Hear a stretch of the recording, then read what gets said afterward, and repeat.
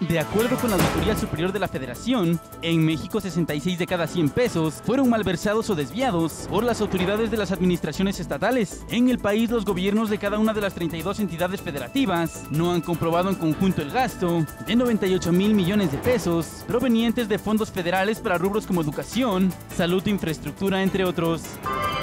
Un reporte publicado este lunes por el Instituto de Investigación Citizen Lab de la Universidad de Toronto señaló que al menos 10 periodistas y defensores de los derechos humanos en México fueron espiados por el gobierno con un sistema de espionaje electrónico llamado Pegasus, desarrollado y vendido por la firma israelí NSO Group, entre ellos los periodistas Carmen Aristegui y Loret de Mola.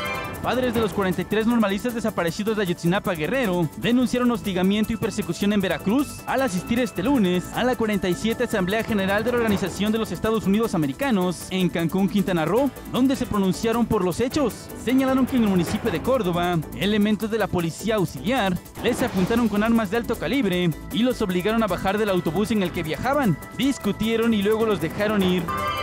Elementos de la Policía Federal realizaron un cateo en el penal de Topo Chico en Monterrey para detectar drogas o armas que pudieran tener los internos. Por ello montaron un fuerte dispositivo al interior y exterior del penal. En ocasiones anteriores, en esta misma penitenciaría, fueron decomisadas herramientas, armas blancas, pistolas y drogas. Este cateo forma parte de las acciones para reforzar la seguridad en todos los penales del país, anunciada por el gobierno federal.